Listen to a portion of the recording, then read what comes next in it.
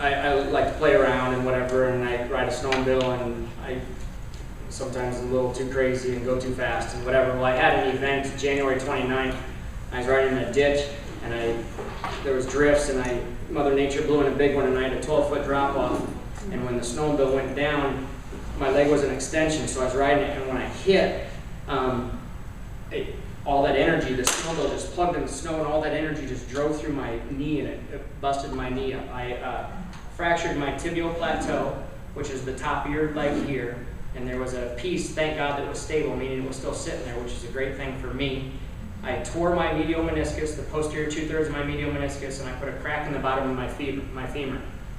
So here's what I did to, um, turn this off. Here's what I did to, uh, something probably have to cool down or something.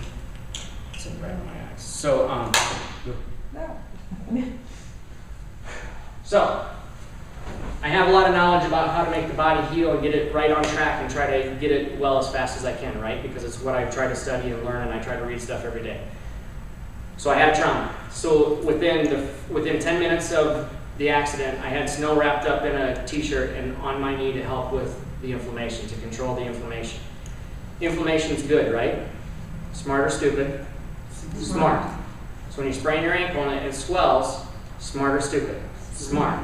Because your body's in a surviving mode right then and it's bringing cells and pieces to the area to scavenger and take bad stuff away and it's bringing cells and tissues in there to build good stuff in okay? So I, but you want to control the quantity of inflammation but you don't want to screw with the quality of inflammation. And that's what anti-inflammatories do. So medically if i would have gone to the emergency room probably would have some anti-inflammatory once you guess. So I had buddy with me, and I rode it back to the trailer. We went to my office and we took a picture of it. So then I saw the fracture in the tibia, and I knew I hurt it bad because it hurt bad. And so I was icing it. So immediately that night, what I did was I iced it um, constantly. I iced it for actually the first two weeks constantly. And you think, well, shouldn't you ice it for you know the 20 on and then an hour off? But my body was in a really bad state and I needed to control that amount of inflammation. And so the next day, Saturday, this happened Friday night, the next day, I decided that I was going to go into complete repair mode. And so what that meant was I ate constantly as consistently as much as I could all through the day. The only thing I ate was vegetables, fruits, unsalted nuts, seeds, berries, wild caught fish. I didn't do any animal or any chicken or beef, even if it was free range or grass fed, I didn't care. I just wanted to stay away from that because I didn't want to make my body toxic at all because omega 6 causes inflammation, right? So I wanted to put my body in an anti inflammatory mode, which is an alkaline state, alkalinity. I drove alkalinity into my body. So all through that Saturday, I started with my nutrition. I actually had to drive to Omaha too. And so I got a brace from a buddy that screwed up his knee before, so that helped me mobilize it because I had a fracture, right? So I start, I immobilized it. The nice thing was I could pack ice inside the immobilizer and it was that nice Velcro thing, so it was awesome. And I had crutches, and so I was non-weight bearing. And um, I started taking supplementation. I took calcium every two hours. I took omega-3 fatty acids every three hours. Omega-3 has amazing anti-inflammatory potential properties. I was doing uh, a probiotic, which helps with your gut and your flora, and so then my body could absorb the nutrition that I was trying to put in the best that it could. For the first two weeks, all my vegetables, fruits, berries, nuts was all raw. I didn't cook anything. So I took it in its raw, real form like the hunter and gatherer could have got it out of his woods. Um, I was doing my multivitamin mineral, which is called Daily Balance, six times a day. I was doing glucosamine sulfate three times a day.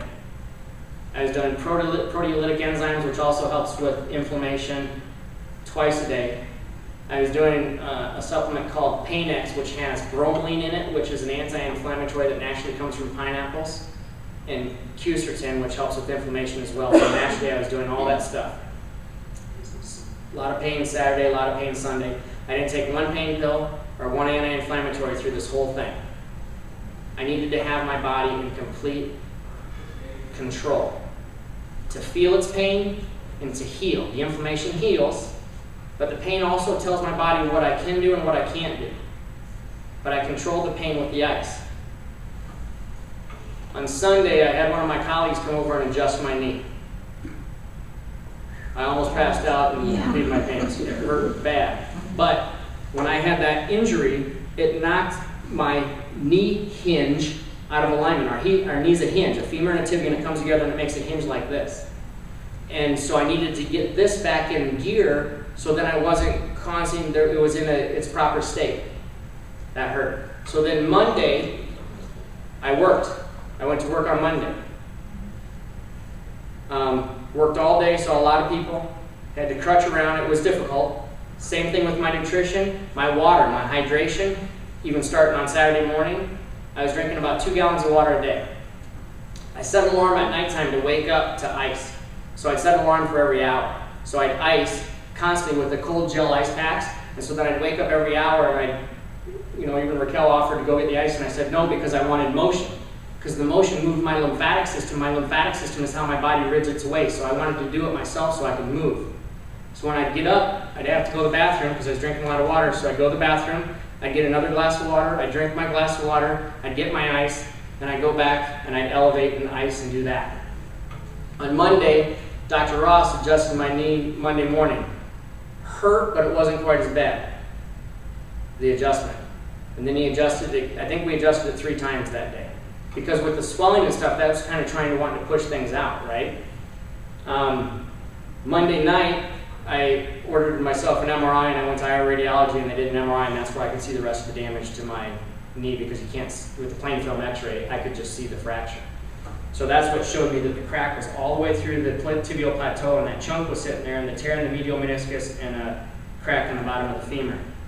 So then, uh, you know, every day was the same. It was the same thing. My nutrition, my nutrition, my micronutrition, supplementation, the water. I had one of the massage therapists in the office uh, massage my leg to help move that lymph, that accumulation of swelling out because I didn't have much motion, right? Because my knee was broke. So I had about 30 degrees motion. So also in between the icings, like when I when I take the immobilizer off to change my ice, I would move my knee a little bit. And I, since I wasn't taking any pain pills, it'd be like, ouch, ouch, ouch, okay, that's good. Ouch, ouch, ouch, ouch, ouch, okay, that's good. So I started to move the knee. Stayed immobilized on the crutches for the first week. Raquel wanted me to have a second opinion with an orthopedic surgeon, so I hesitated, but I said, okay, what's a conversation? So I went to the guy and had a conversation, and he said, he, I sat in his office. The girl said, you know, uh, can you take the immobilizer off? And I said, yeah. And this was a week later. And by that time, when he walked in, oops, sorry, I had 90 degree flexion in my knee already.